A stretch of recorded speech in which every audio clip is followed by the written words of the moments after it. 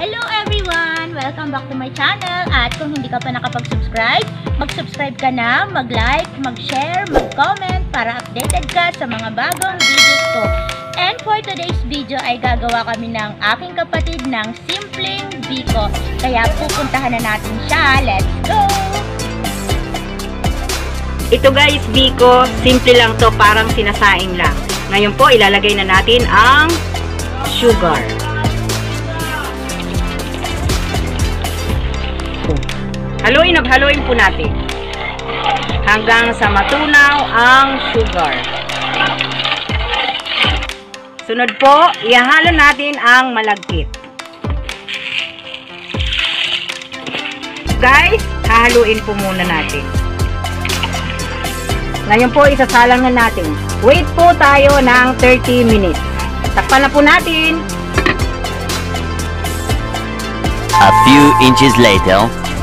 Ayun po, Delicious. malapit nang maluto yung ating biko. Guys, yung nakaseparate po na 1 quart na purong gata ay gagawin po nating pantapping sa biko. So, kapatid, paano ba ang procedure niyan? Simple lang. Lalagay lang to.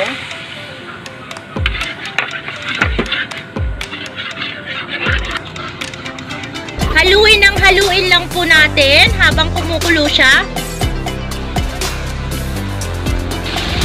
Po, ah, malapit na po maluto yung pantoppings natin. Wait, wait lang po tayo mag-brown siya. Eventually. Ito na po ang ating finished product. At ngayon po ay titikman na natin. Mmm, ang sarap. Try nyo po. Don't forget to like, share, subscribe, and click the notification bell. See you on my next vlog guys. Thank you for watching.